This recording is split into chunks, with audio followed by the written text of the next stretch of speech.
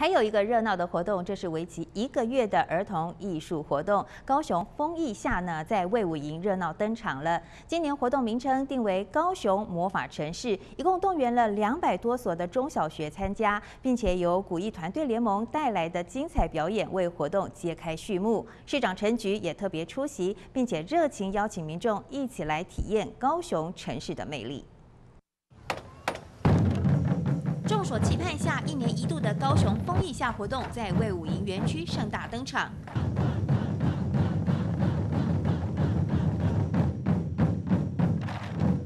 古艺团队联盟的精湛表演为开幕典礼揭开序幕。紧接着，三太子艺术团队出场，现场气氛更是嗨到不行。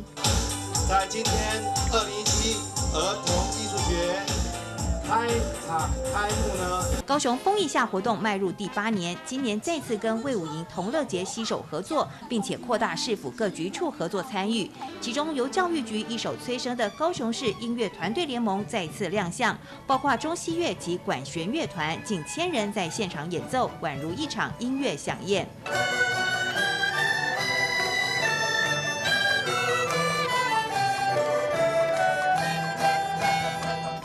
艺术活动表演掀起一波又一波高潮，高雄市长陈菊也到现场与民众同乐。他表示，透过活动让市民看见高雄艺术教育的多元性，也将高雄营造成为奇幻魔法城市，邀请市民一块体验这股城市魅力。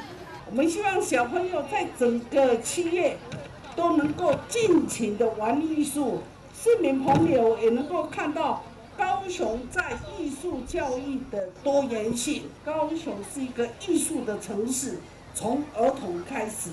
我们希望成为南台湾最大的儿童艺术的活动，也希望未来为武营国家艺术文化中心的落成，能够将高雄塑造成为艺术的基地。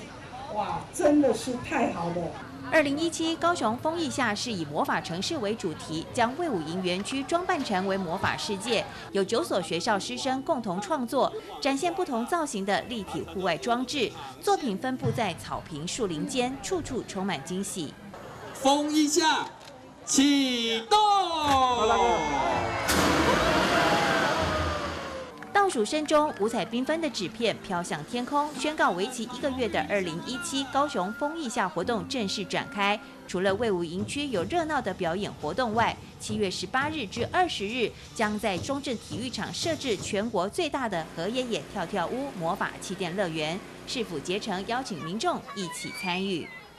港都新闻林庭阳、黄兰君采访报道。